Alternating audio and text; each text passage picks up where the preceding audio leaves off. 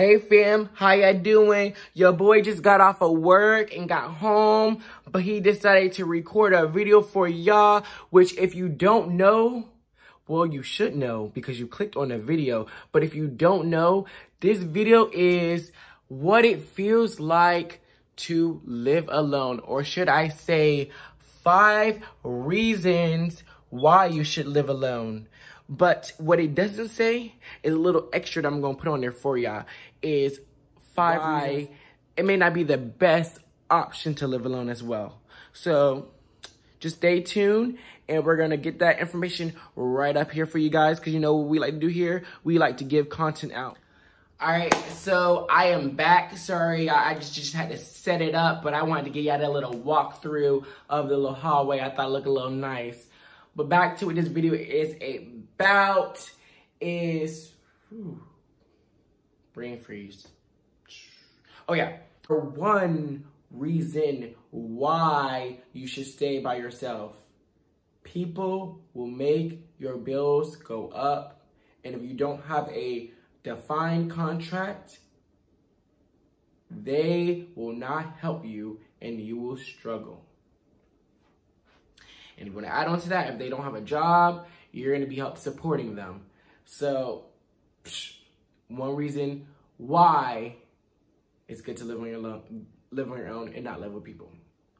Second reason why, which is my favorite, being a nudist, is you get to be naked 24-7 or as much as you like. Windows and all. You can be as naked as you want. Who's gonna say something? All right. Number three reason why I like to live alone. I can play music as loud as I want. I can sing as loud as I want, whenever I want, and no one can tell me anything. Cause there's no one here but me. So, got that benefit as well. So, three, we're, we're up to three already. Look, offer it. Yeah, that sounds really good, right? All right, number four, you get peace of mind. Peace of mind. I go anywhere else, I'd be like, I'm ready to go back home. Oh, wait, wait a minute, y'all. I'm just gonna put this shirt back on real quick, y'all, because I don't know, this might be a little too inappropriate to be, you know, showing my little stuff off. You know, gotta gotta go to the gym, hit the gym a little couple times, a little bit more, and I think I can see with our shirt some more. So I'm just gonna go ahead and put this shirt on like I seen in this video. So we're just gonna go ahead and do this real quick. All right, so the fifth reason of why it is wait, I was on the fourth reason, which is you get peace of mind. Even if you have your own room, they say you have your own room, people come in your room and they be and they intrude themselves. When you live alone, they can't intrude themselves. So the biggest thing about it is living alone is people can't treat themselves you basically, you do everything alone. So when it comes to who got dishes in the sink, it's on no dishes in the sink unless you put them in there. You know, who who did got this? It's only this if you did it. So everything lands on you. So it's like if you really independent, I kind of like it. Not to the downfalls of it, which let me get out there. It was just the only real reasons why I would say it could be hard not like to live alone. And maybe, you know, you've done it before and you know it's not your cup of tea. Like, don't get me wrong. When I settle down, I'm not going to live alone anymore.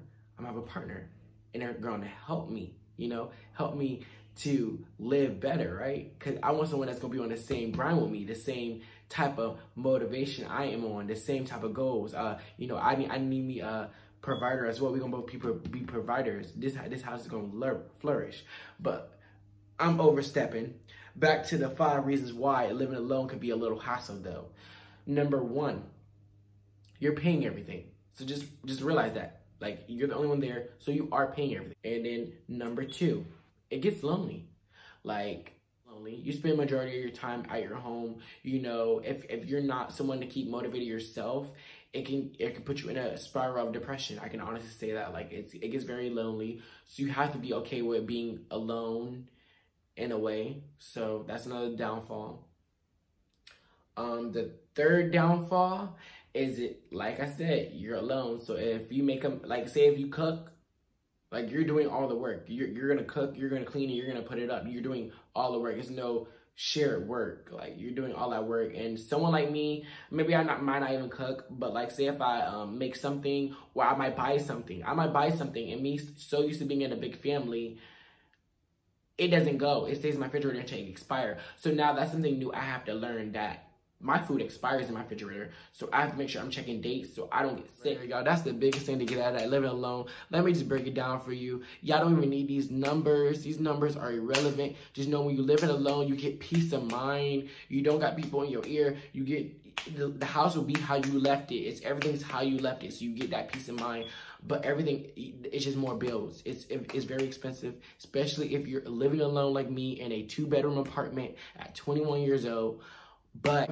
like realize where you at in your life and where you need in your in your household. But i can honestly say living alone is a something i think that everyone should do in their life at least once. If you, even if it's a small um what is it called? The little it's not even a bedroom a, a, a studio apartment a small studio apartment. Personally i feel like everyone should experience it even if you had to go to a dorm room or something like that but I feel like this video is getting long and I feel like I hit most of the points. If I if you think I did not hit a point enough for you, just DM me, leave a comment below. I will get to that point. I will, I will explain whatever you need to know. Just know I've been living alone for three years now in this apartment. And I love living alone. I just wish it was cheaper. But when the more the money come, it's like, okay. But I do know when I start, when I settle down, I'm gonna want my partner to live with me, of course. So it comes where where am I at in life? Right now, I'm not in the settled down right now. So living alone sounds good. I don't want I don't want friends and people I don't know staying with me. If I have someone staying with me, it's gonna be someone I'm trying to build a life with. But that's just me.